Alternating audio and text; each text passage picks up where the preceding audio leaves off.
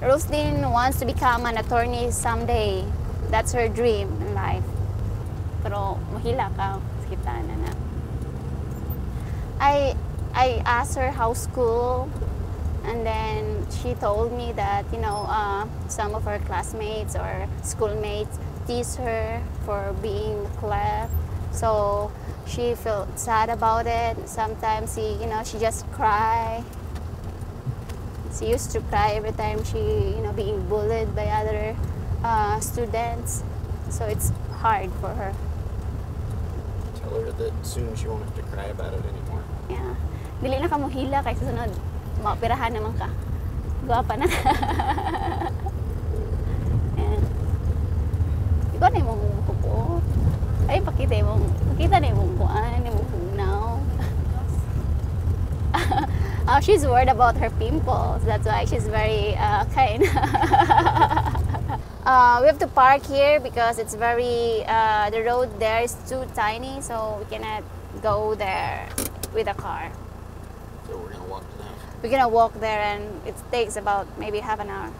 It's 12.30 in the afternoon, so uh, let's calculate how much time we can arrive, we get there.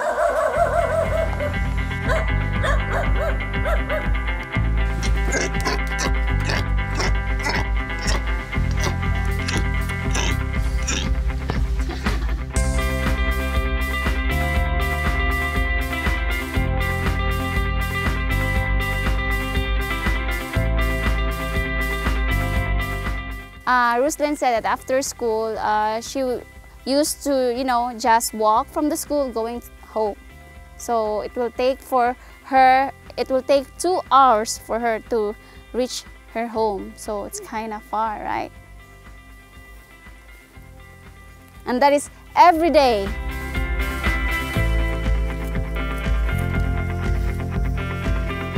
Be careful.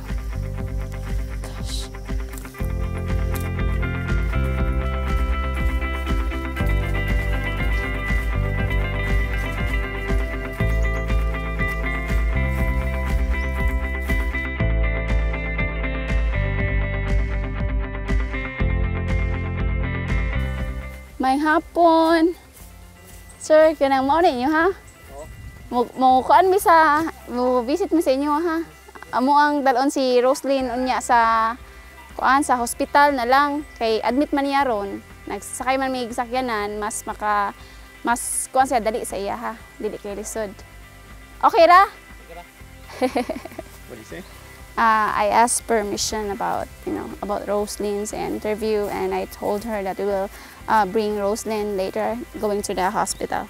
So she said, said yes. Okay. we finally made it to Rosalyn's house, and this is her home. This is where she lives with her mom and father and one older sister.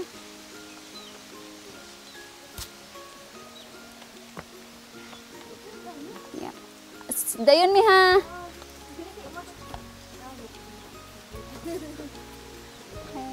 And that's her mom. Ah, princess! Princess! San Isidro sa poster. They fi- they they find out about the they found out about the medical mission of Faces of Tomorrow through the midwife at the barangay health center in San Isidro. They don't have uh, money for transportation and it's very hard for them to go there.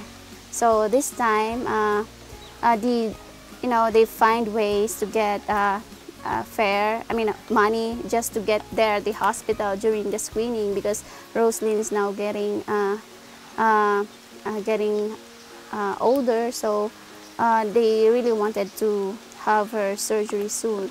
Their, I mean, the family, uh, their you know their means of uh, uh, because they don't have a job, right? So their means of living is to make this uh, basket, small basket, for like 60 pesos, and they have to sell this one once a week. So sometimes it depends. So mostly they only earn 400 pesos per week for this one. Uh, we will drop uh, first, uh, we will stop by first at the National High School because uh, she will have to submit her excuse letter. Okay, that's fine. Okay, ka Rosalyn, center ka.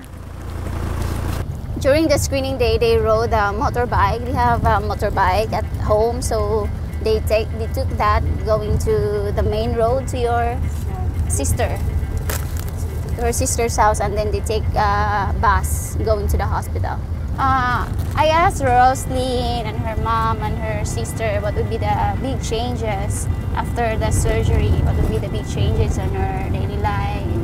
And then she, I mean, they told me that uh, there will be a lot of changes. Uh, she will be more pretty, and then uh, her classmates won't tease her anymore. No bullying, and she will, she can have uh, lots of friends, and she will be more happy.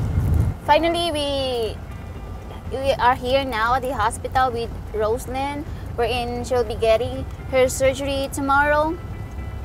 For sure, she's very excited.